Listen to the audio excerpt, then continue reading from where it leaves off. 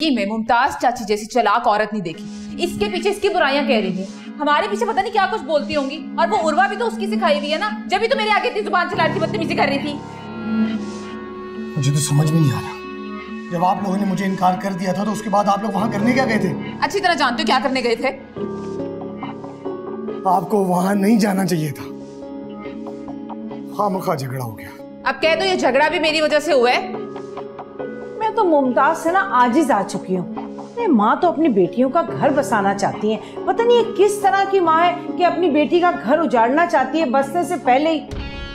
अरे अभी से पट्टियाँ पड़ा रही है बाद में पता नहीं क्या करेगी कैसे उसका दिमाग खराब करेगी और शामत हमारी आएगी।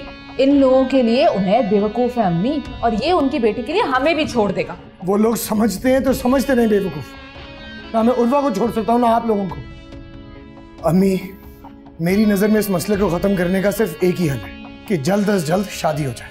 इसके बाद उर्वा का अपने घर वालों से ताल्लुक ख़त्म। आप लोग मजीद देर मत करें बस। कौन क्या कहता है, कौन क्या करता है, उससे कोई फ़र्क नहीं पड़ता। दो हफ़्ते बाद की आप लोग डेट लें, मैं देखता हूँ। मेरी शादी के बाद मेरी ज़िंदगी में कौन मुदाखलत करता है?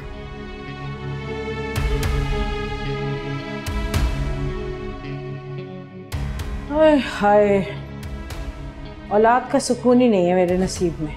ना तुम्हारी तरफ़ से, ना उसकी तरफ़ से।